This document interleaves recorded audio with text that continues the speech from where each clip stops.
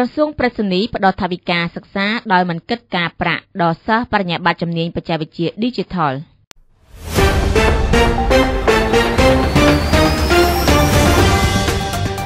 ដើម្បីគ្រប់គ្រងដល់ដំណើរការអភិវឌ្ឍមូលធនមនុស្ស Digital ឆ្លើយតបទៅនឹងតម្រូវការនៃការអភិវឌ្ឍសេដ្ឋកិច្ចសង្គមនិងរដ្ឋាភិបាល Digital ក្រសួងប្រៃសណីនិងទូរគមនាគមន៍ហៅកាត់ថាកបតបានបង្កើតកម្មវិធីអភិវឌ្ឍជំនាញ Digital Digital Skill Development Program ហៅកាត់ថា DSDP ដែលជាកម្មវិធីជំនួយហិរញ្ញវត្ថុក្នុងគោលបំណងផ្ដល់ថវិកាសិក្សាដោយមិនគិតការប្រាក់សម្រាប់សិក្សាថ្នាក់បរិញ្ញាបត្រជំនាញបច្ចេកវិទ្យា Digital កម្មវិធីអភិវឌ្ឍជំនាញ Digital ហៅកាត់ថាកអចដដែលជាកម្មវិធីផ្ដល់ជំនួយហិរញ្ញវត្ថុមិនមែនជាអាហារូបករណ៍នេះគឺមានរហូតដល់ទៅ3000កន្លែងហើយនៅក្នុងឆ្នាំសិក្សា2025 ក្រសួងប្រៃសណីនិងទូរគមនាគមន៍និងគ្រឹះស្ថានឧត្តមសិក្សាដៃគូរបស់កអជដនឹងវិតម្លៃជ្រើសរើសបេក្ខជនប្រឡងជាប់សញ្ញាបត្របាក់ឌុបដែលមានបំណងសិក្សាថ្នាក់បរិញ្ញាបត្រជំនាញបច្ចេកវិទ្យា Digital នៅគ្រឹះស្ថានឧត្តមសិក្សាដៃគូរបស់កម្មវិធីអភិវឌ្ឍជំនាញ Digital ចំនួន6រួមមាន បណ្ឌិតសភាបច្ចេកវិទ្យា Digital កម្ពុជាសាកលវិទ្យាល័យភូមិន្ទភ្នំពេញ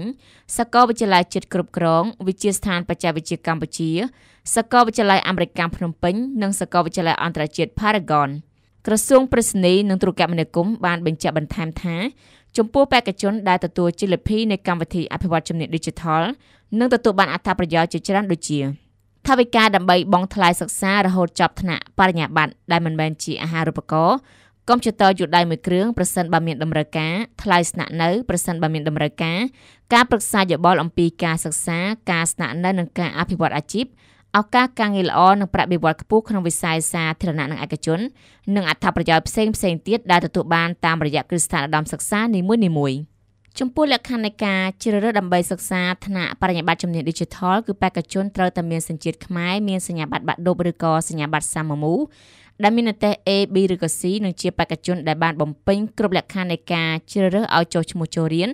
នៅតាមគ្រឹះស្ថានឧត្តមសិក្សាខាងលើដោយត្រូវឆ្លងកាត់ការប្រឡងនិងសម្ភាស